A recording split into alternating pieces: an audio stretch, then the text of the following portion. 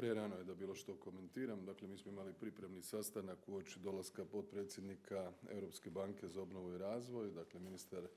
Primorac, ministar Šušnjar i ja i čim smo čuli što se dogodilo jednostavno smo izašli na